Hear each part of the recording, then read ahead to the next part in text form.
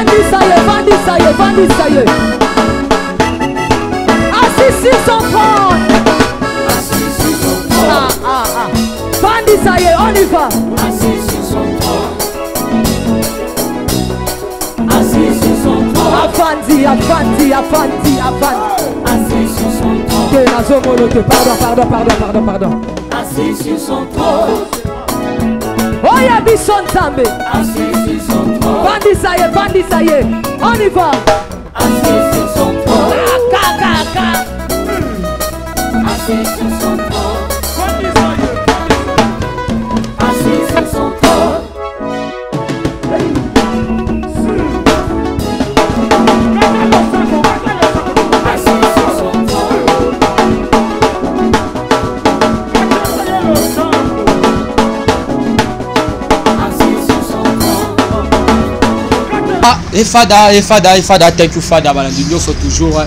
bozwaka libaku ya kona biso na kati ya chaîne na bino ya lazarien tv na kati ya émission na bino table 5 eza présenté par votre md serviteur eh.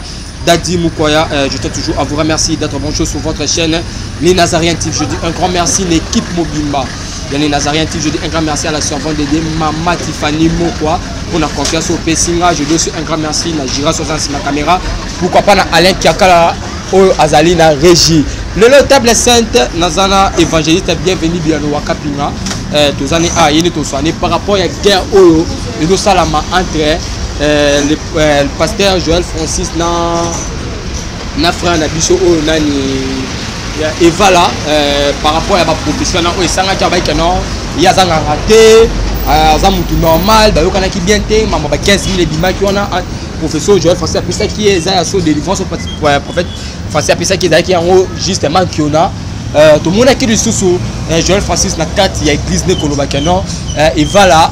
soki ase repentir te soki aye osenge pardon na kati ya église te akoma baba tomoni evala apesaki droit de réponse na ye alobi ke non naza baba te naza na ngai normal azokosa bino nakomi baba te mamu nazoloba eza ya bien evala komotambola na bible tozoyeba te entre guerre ya ya prophète Joël Francis na Evala qu'est-ce qui se passe entre bango mibale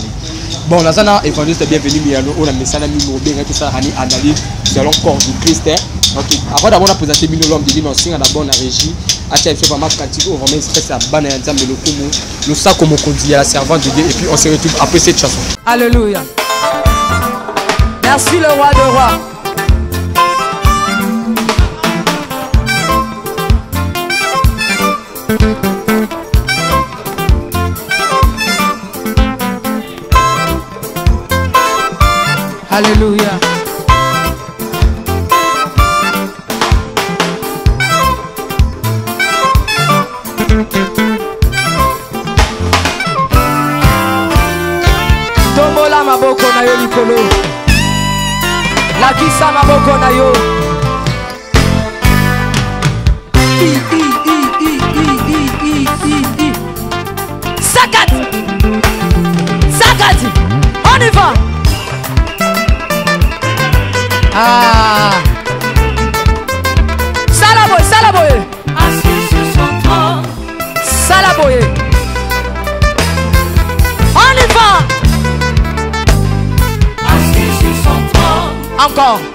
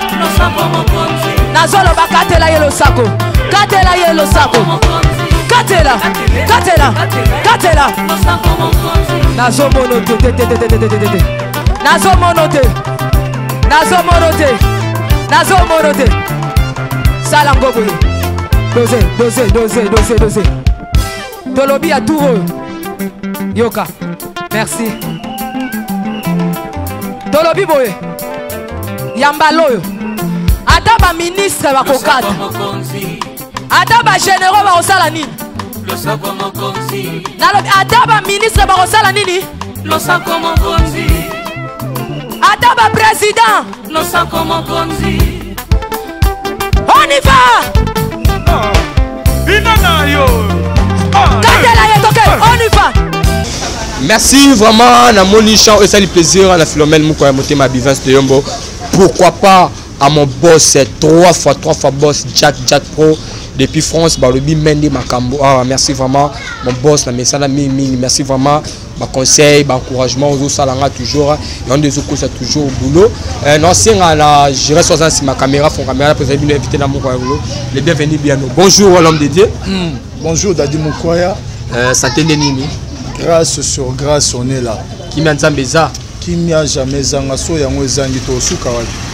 ok merci vraiment euh, l'homme de dieu moi moi gentil par rapport bato nyonso bazwi libaku ya kolanda ase moma na lina rien te e mon gentil eza que nzambe apambola bato tu bazozwa bazwi libaku kolanda biso cet après midi il faut toloba et nous allons parler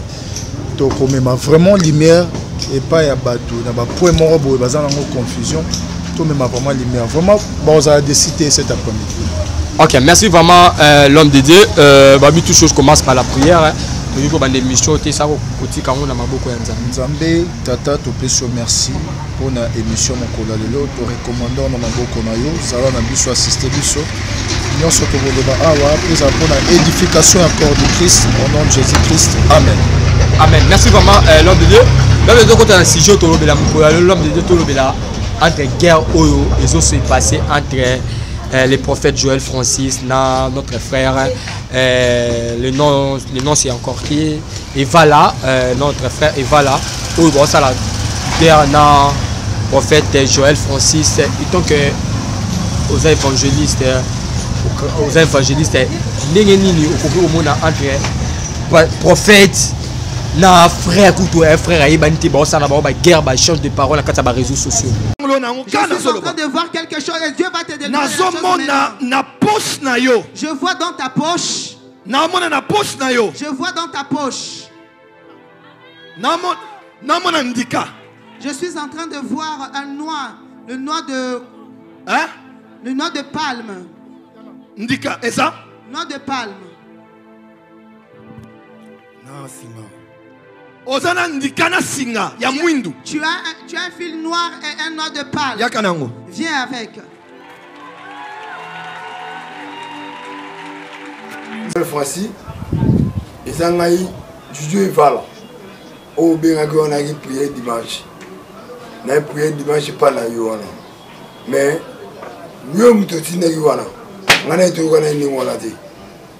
ngai na ye toyokana ebongo te ngai na ye toyokana ye te kono amimana ba réseaux sociaux moko mayeyoka to consort ke non famille na nga bakomoyi na nga mpo na makambo yo okomi mpo na makambo yo olobi obimisi banyoka nga aza ndoki naza boye na boye na boye na boye to consort ngai na yo toyokana ye ndenge wana te so oluki otrouve société ya makambo oyo andefo nakobenga papa molei lemalemba nakobenga ndeko lese nakobenga denis lesi akoya mpo ademati bino nde bino ofifaka nde nini mosalaka babengi nga epuis mongo mpe nazwi yango te nalepe mongo wana te natie kolia mongo wana ata moke te bomisana na basaki na banini na na babiloko ebele ebele wana etseseya etseseya nga naye na mokumba te papa joel francis luka solution ya makambo oyo etenge paster ya eglise wana so oyi solution te etenge paster nayebi te eyo likambo na ngai naloba namoni basaki namoni biloko ebele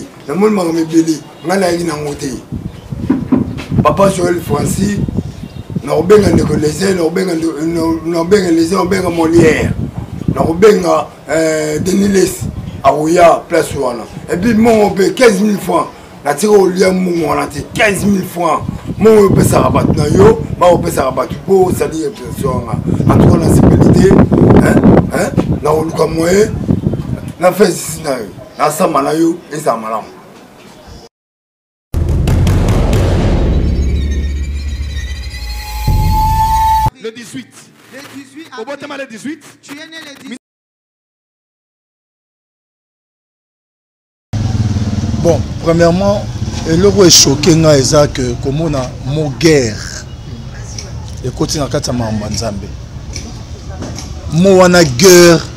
ekoki jamais ko se retrouver na makambo ya nzambe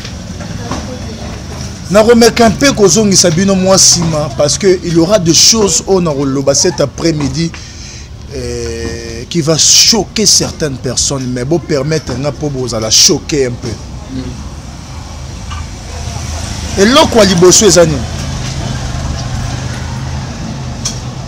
phénomène mankiona phénomène mankiona eza na bato oyo bakotisa biloko wana na kati ya congo bamiracle ebele batémoignage ebele lelo en réalité eza bamakambo la majorité eza babiloko vraiment te ezosalema na ndenge ya bonzambe ebele baosala yango na ndenge ya kimankiona mankiona elingi koloba nini mankiona ezali batémoignage bamiracle monte fabriqué yango babenga yango mankiona bapaster balingi lisusu te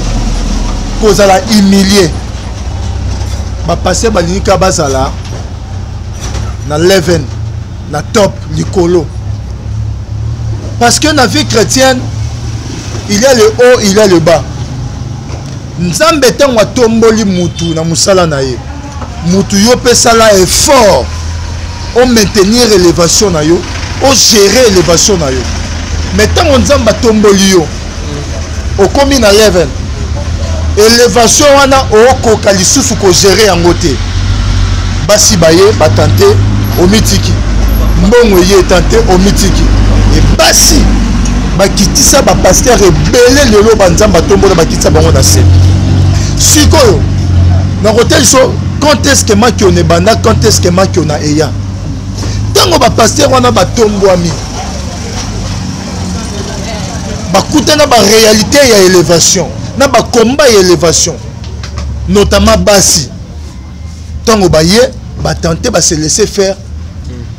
basi bakitisaka bonzambe bakitisaka onction bakitisaka grâce bakitisaka élévation siko ntango bazokita ebele baboya humiliation ebele baboya kozala na bandima humiliation impose mpa na nzambe yango monaka mpo bagarde bamakambo na bango ndenge nzambe abaya koutilize bango puissamment bakoti mankiona nayebi te soki ozo comprendre nga place nao mema zolanda olombi bakoti mankiona bamiracle oyo nzambe abanda kosalela bango ya vrai authentique esalema lisusu te mpo na nini bonzambe esili mpo na basi olie baluka nzambe na kati ya priere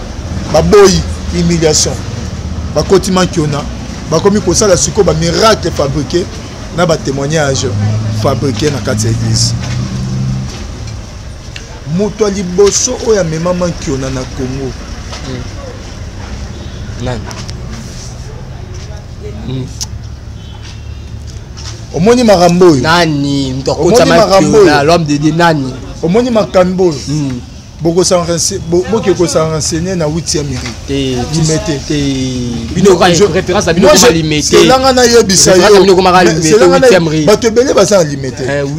yo okoluka totangisamutu na babandali na babandali bomonaka te tikanga nasala naomona ezalaka limete bino na bemission ezalaka kaka ya matoi na biefunga na bakombo ya bato nga atanga oh, balobi nani amemama na eteli nga nga naosala analyse na nga je suis pas obligé ya koloba oyo oh, okoloba na nga na Mais bah, il faut répondre à ma question. Non, non répondre en sagement.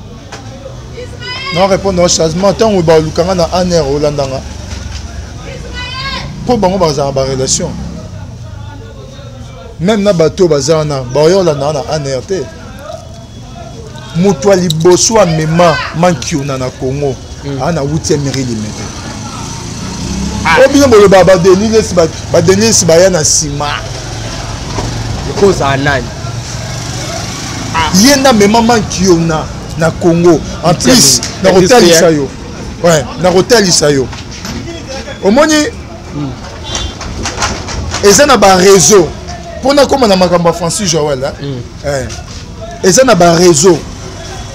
na memo na analyse moko ya bien bato baocomprendre mpe bien sans pour autant natanga nkombo bato baocomprendre nalobi le maître de mankiona witième yango hmm, industriel sikoyo mankiona nde ezalaka nini eza na baagence ya basi ya kitoko mibali ya kitoko ozolanda basala baagence na bango mpo na nini soki paster aza na seminaire to pasteur aza na culte ya monene akosolola na agence wana afuti bango mbongo mpo baya kosala bafaux témoignage baya kosala bafaux miracle ndeko evala wana bautilize ye kaka bautilize ye balobi ke yo na culte ya lelo ojoue role tel lata singa bazwi mosusu bapese bandika eza bamiracle ba fabriqué batémoignage fabriqué yango nde tobengi mankiona francis joel bozobeta lisolo na ye na ye sikoyo na likambo ne mpo ne mpa nabima na sujet francis joel tatu bozobeta lisolo na ye abanda makambo ya nzambe wapi Francis Joël aza ami ya ba Marcelo Tunasi. On comprend? Mm. Ba génération moko pe na ba Atoms ba pasteur Florent Kantu. Francis Joël babanda ko travailler mutu encadrer bango ezali papa Roland Dalo, papa Patou, aboyaka ne mutu te. Motema Nzambe ya encadrer na ye. Francis Joël alongwa na structure ya Roland Dalo na alongwa na ndenge ya rébellion.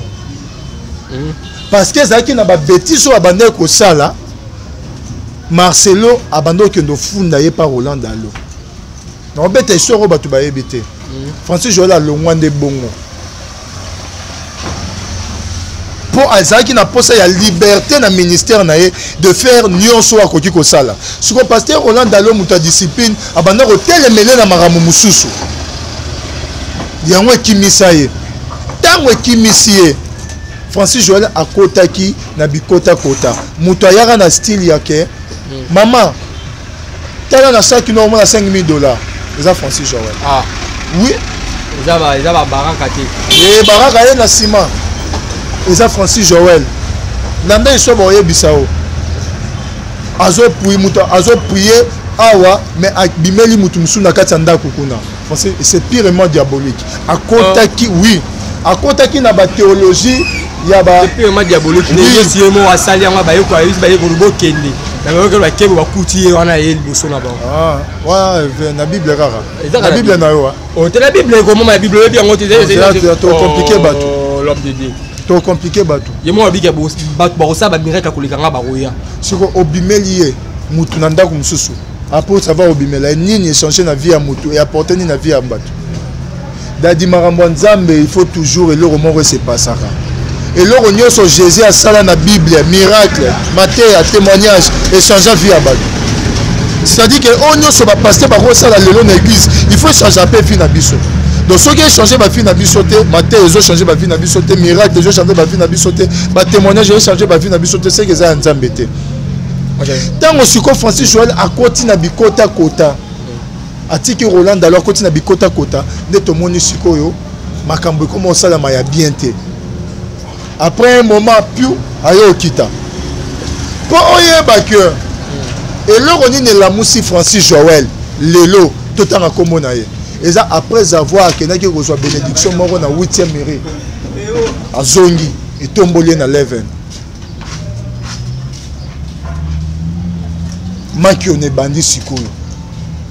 si je comprends bien huitième rian ozoloba nayebi nayebi huitième di industriel est ce que tokosala eh. émission sans kotanga te otaki komba motu te nga na kotangisa bato natesi bato mm. pere ya maki ona mm. badenilesi kutu badenilesi basalaka basala mpe basalaka bamaki ona ya salite erevesa yango omoni denies akosala suma kiona te mpo ekorevese me bavie wana bayebi professionnalisme ya mankiona benediction wana oyo akendaki kozwa na 8e rue ezalaki déjà kopesa ye nouveau départ na makambo ya sika juste après yango juste après avoir koleka na 8e rue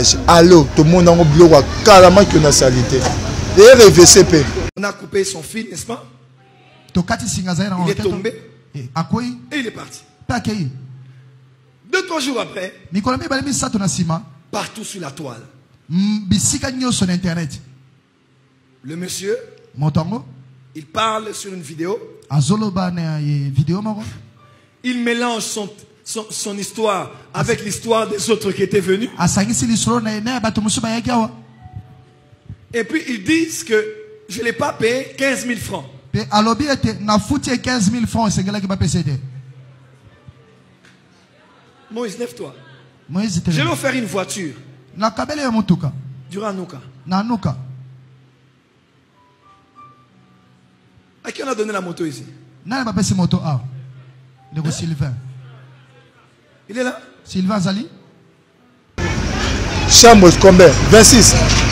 combien soki 30 on a mp wana chambre soki 38 ezalaka te soki 36 yokota kuna okenda kuna après wana okenda kuna mpo loba ezalaka te oh. zela sikoyo nayebisa yo soki nakenda mp soki nakenda mp te il est eu de gens basali bainvestigation na sujet oyo pendant ke yo ofandi na ndako mais il y a eu des journalistes basali ba investigation mpe batalisi biso makambo ke chambre 36 ezalaka te na mp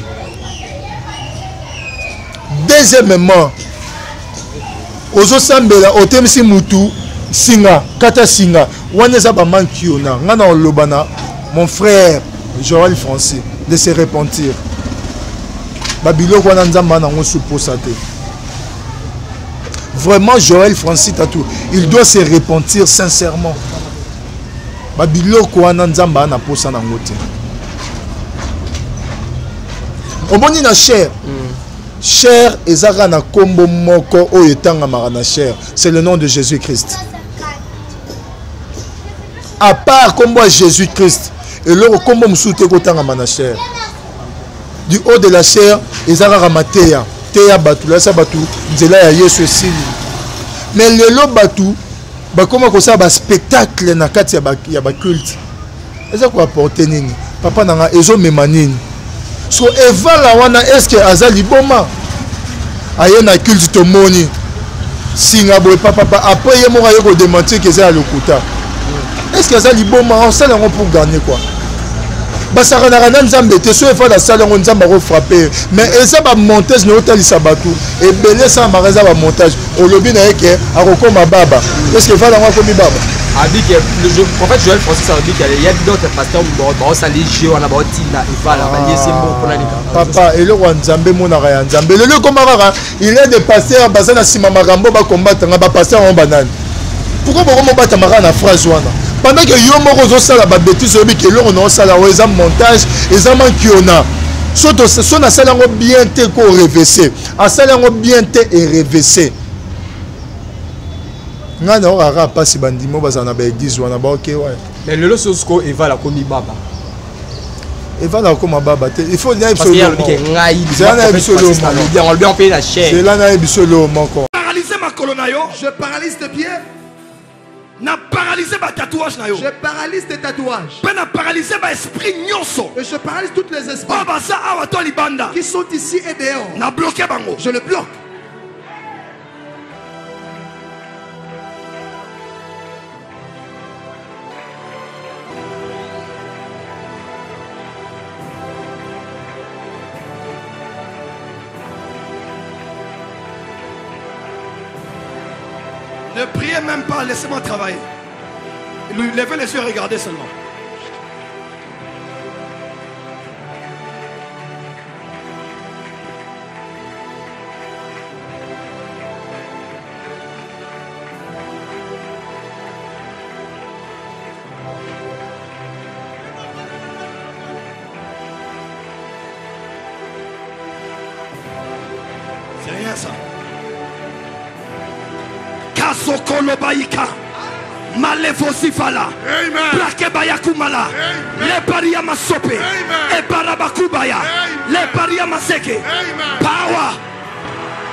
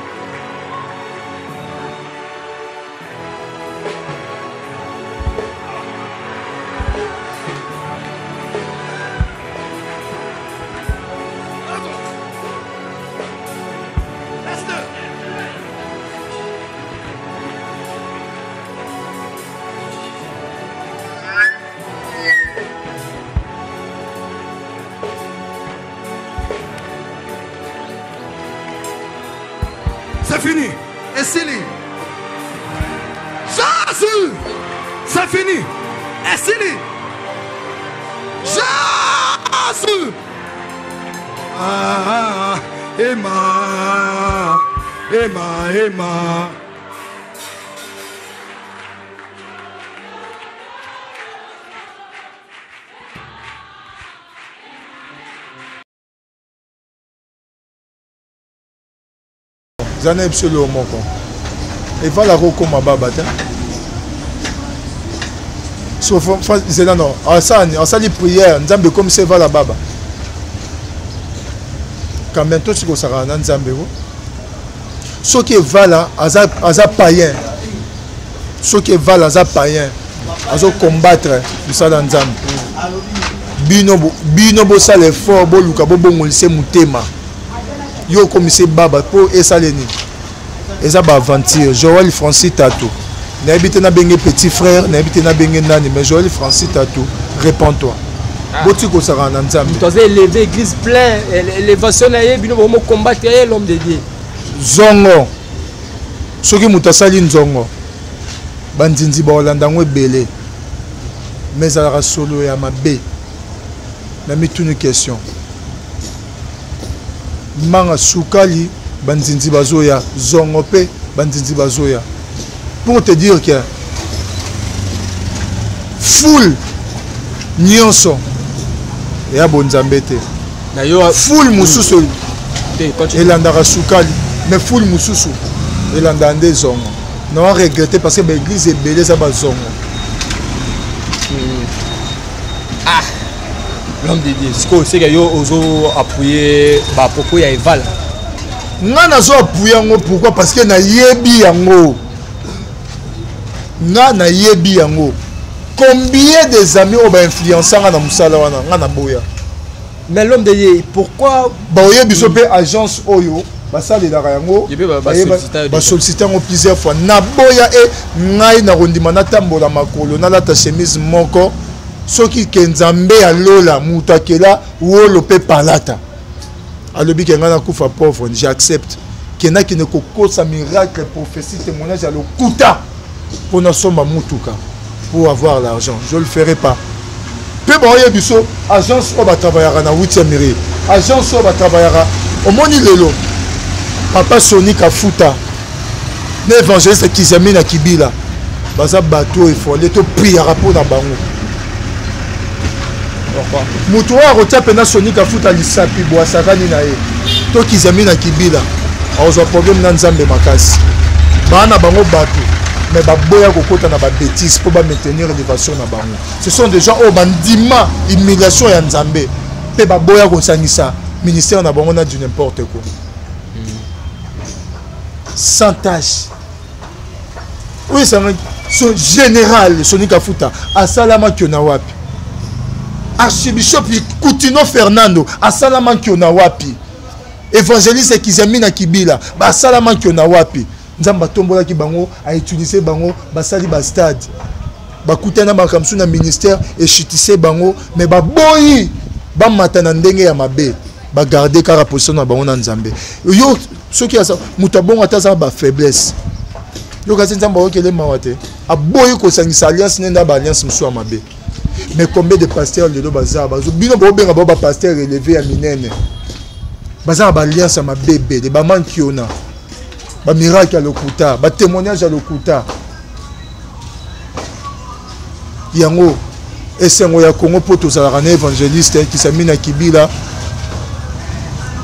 na kutino fernando na général soni kafuta esengo na biso yango wana ok voilà euh, l'homme de dieu euh... pourquoi pas que basali ya nzambe nde baomona que non euh, evala oleka na bachaîne pourquoi pas basali ya nzambe babenge wabi te tika ce qui arrive esika koloba koleka lisusu te bopesi conseil aleka te mpo asali image ya corps du christ eza mpe kosaliri mpe image ya corps du christ l'homme de dieu hein ndenge ndenge euh, ndenge mpe euh, pasteur moïse mbiye bapapa bapropos na ye oyo atenaki na kati ya chere bapasteur ebeye babengaki ye babi koleka lisusu te koloba lisusu te fanda tobongisa parce que tosove image ya corps du christ omotoyeke eloko evala osala ya mpe kosalir réputation ya corps du christ lombi boye eval aza eval aza pasteur eval aza chrétien eval aza payen oyo francis joel abengi ye apesi ye mbongo mpo asala faux témoignage na église sikoyeba na ndenge nini babenga ye bapesa ye bapekisa ye babenga ye bapekisa na ndenge nini ye moko francis joel tatu père spirituel ne nani akoma lelo aleki pa baruti mabe aleki epa mutombo mabe aleki epa boye mabe père spirituel na ye eza nani moise mbi azalaki na père spirituel ne apôtre mbi emulaya moise mbi aza na bapapa ne bankadaka ye respect soni kafuta azali eh, nani eh, eh, bapapa moto bo bapesaki baconseil bapapa kakenza bapesaki baconseil en cas ya bétise bakobenge bagangi lokola mwana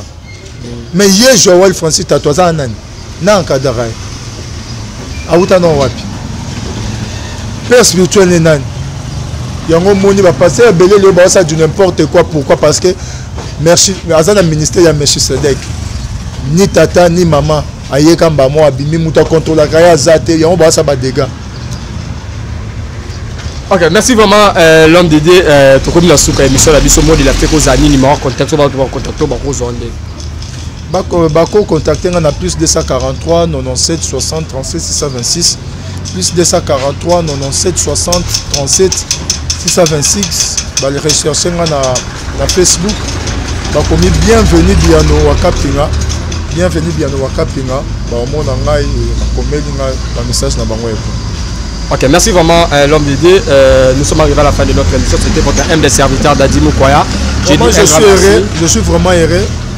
Yakomona, j'ai été assisté par mon fils. C'est un fils vraiment, vraiment respect. Non, prier dans Zambia Pambolé, sous Ming, Nenga Pambolier. eh, baaffaire na ye ya bamituka aza na yango ekesu ebele c'est mon fils vraiment mon partenaire chris mwaka